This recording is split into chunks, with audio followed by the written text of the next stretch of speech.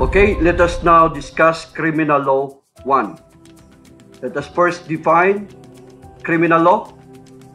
That is accordingly a branch of substantive law. Anong ibig sabihin natin ng substantive law? Pag sinabing substantive law, ito ay sasagot sa tanong how each member of the society behaves. So, ito ay ma-differentiate natin sa procedural law. Ang procedural law naman ay sasagot sa tanong how substantive law is made, administered, and enforced. So, yan ang kaibahan ng substantive law at saka procedural law. So, kung bigyan natin ng pansin ang substantive law, dito ang criminal law, criminal law 1, criminal law 2. Whereas pag sinabing procedural law, so yung criminal evidence, criminal procedure, yan ay sakop sa tinatawag natin na procedural law. So, criminal law is a branch of substantive law which defines crimes. So, magsasabi siya kung ano ang act na makonsider na crime. Threats of their nature. Sasabihin niya kung anong klaseng krimen yan. Like, for example, crime against persons, crimes against property, crimes against uh, personal liberty and security, and so on and so forth. And it should provide punishment. Kasi kahit na ang isang batas may nagbabawal, pero wala namang kaakibat na penalty or punishment, hindi yan matawag na criminal law. It is also a branch of public law which deals with the relation of individual with the state. So it is the state ang gobyerno ang mag-regulate sa mga tao. So under the social contract theory, ang bawat individual may mga liberties siya na sinusurrender niya sa government. And in return, the government will protect each individual. So that is social contract theory.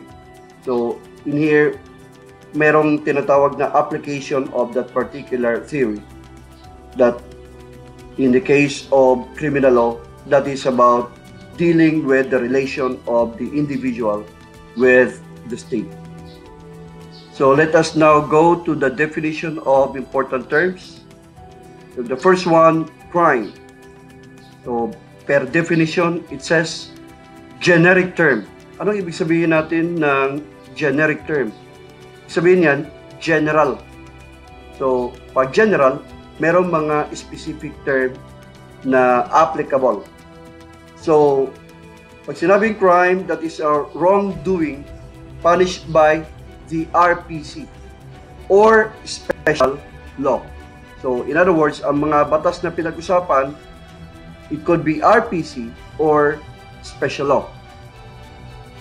It is defined also as an act committed committed in violation of public law, forbidding or commanding it.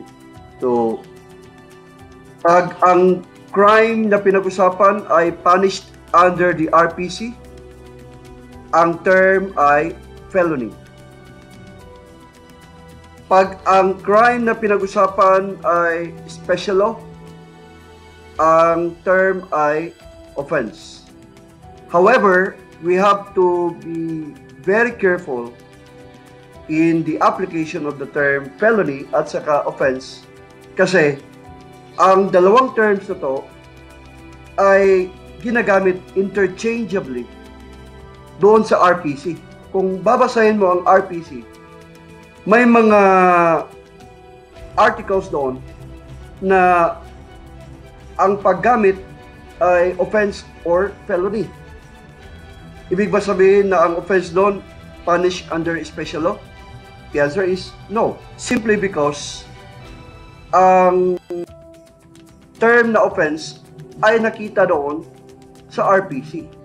So, kahit na offense ang ginamit, it is still to be understood as felony. That is why ang felony at saka offense ay interchangeably used in the RPC. Okay? So, tinan natin ang particular article. Makikita ang particular example na yan sa Article 48 of the RPC dealing with complex crimes. Dito, merong term na offense. Pero gaya ng nasabi natin, hindi ibig sabihin na punishable siya under special law. So, dalawang klase ang complex crimes. Una is when a single act constitutes two or more grave or less grave felonies. So, ang ginamit na term dito ay felonies. Ang pangalawang klasing complex crime ay when an offense is a necessary means of committing the other. So dito, ang ginamit na term ay offense. Pero hindi ibig sabihin na ito ay patungkol sa special law. Kaya sabi natin, pag ginamit ang term na offense or felony under the RPC, it is used interchangeably. The other specific type of crime is misdemeanor. That is a minor infraction of law. So a good example to this one is city or municipal ordinance. So let us now go to the sources of criminal law. So the first source is the revised penal code. That is Act number 3815. So be careful ha kasi may mga tanong sa board examinations na tinatanong itong number na to pero may mga choices na Act number 3815, meron ding Republic Act number 3815, meron ding Commonwealth Act of or number 3815 and so on or PD number 3815. But the correct answer should only be Act number 3815, otherwise known as the Revised Penal Code. Another source of criminal law is special penal laws and the penal presidential decrees, especially during martial law. Now, what about um, court decisions? Yung tinatawag natin na case law. So, are they part of the sources of criminal law? The answer is no. Kasi ano yung nakalista, yun lang ang matawag natin na sources of criminal law.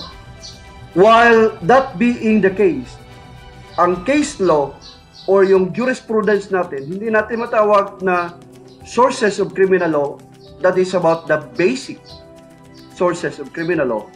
Pero they are incorporated in our law as if they are law in themselves. Kasi kung paano ininterpret ng Supreme Court ang isang batas, ang interpretation niya will already be incorporated as if they are already law. To? So, pero ang pinag-usapan, basic sources, it should only be the RPC, Special Penal Laws, and the Penal Presidential Decrees.